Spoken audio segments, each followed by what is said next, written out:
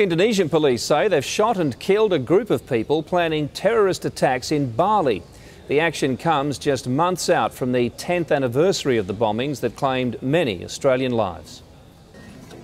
Indonesia's crack anti terror squad struck under the cover of darkness.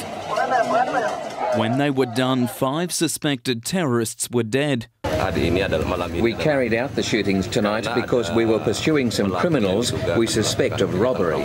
Local police believe the group had links to Abu Bakar Bashir's Jemaah Islamiyah movement, planning to rob money changers and gold dealers to fund terrorism. The men were killed in two separate shootouts, the first just after 9 o'clock last night in Sanur, the second at an address across town, both just a short drive from the Kuta Strip.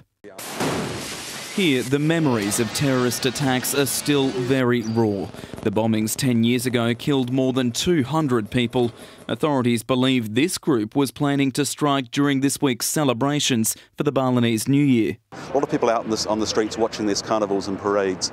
Um, very chaotic, very fun time, but an ideal time for a, a terrorist group looking to strike foreign tourists. Somewhat worrying, but um, we still come because the terrorists are not going to stop us coming to Bali, but Bali's a beautiful place. Authorities here have been stepping up their campaign against terror cells and have made a number of arrests, but they're battling a recurring problem. When these groups regenerate, they operate with small autonomous cells, and you knock one off, and a little while later another one pops up. Andrew Denny, 10 News.